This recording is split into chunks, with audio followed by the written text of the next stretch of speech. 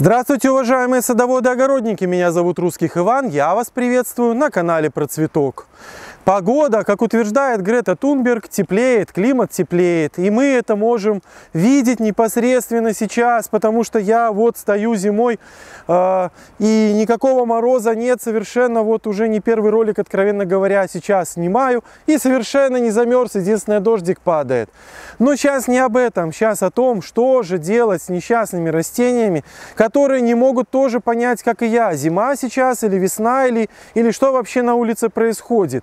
Одними из наиболее чувствительных растений к перепадам температуры и к таким вот каким-то непонятным историям с погодой являются, конечно же, розы.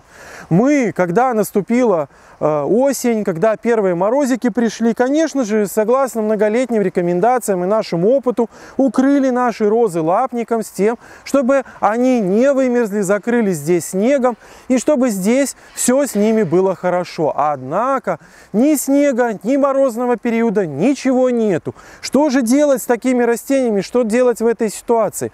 Открывать их, не открывать их, проветривать, чем-то обрабатывать, что делать? Конечно, это время для саженцев, таких вот растений, для роз, является очень опасным. Почему? Потому что грибные инфекции сейчас очень-очень активны. И те, кто не провел обработки саженцев э, перед укрытием или гипохлоритом, или железом, или медью, конечно же, рискуют получить определенные выпривания и повреждения саженцев, особенно с наступлением морозного периода, потому что кора все очень чувствительна к развитию грибной инфекции. Поэтому, если на улице положительная температура, такие искореняющие обработки вы можете провести даже сейчас. Информация у нас на канале имеется. Что же касается укрытия, то сейчас нужно поступить следующим образом. Если земля под укрытием является не замерзшие, если там абсолютно мороза никакого нету, и у вас глухое укрытие, то есть с пленкой, со спанбондом, с какими-то такими сильными утепляющими материалами, то в этом случае укрытие лучше немножечко приоткрыть, для того, чтобы обеспечить проветривание саженцев и доступ кислорода к ветвям для исключения выпривания саженцев.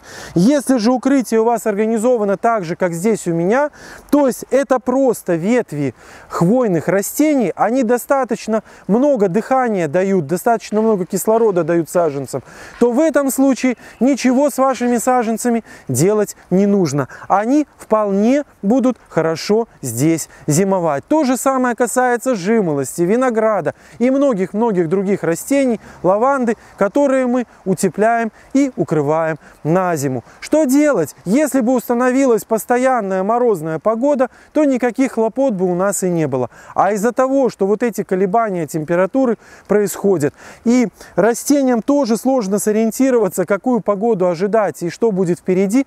Лучше всего им все-таки помочь. И даже если вам хлопотно поехать к себе на дачу и стоят теплые погоды, не поленитесь, съездите и приоткройте, как бы дайте кислорода туда внутрь, для того, чтобы все-таки, находясь в актив, достаточно активном состоянии, а ведь от температуры зависит физиологическое состояние растений, они начинают достаточно активно дышать.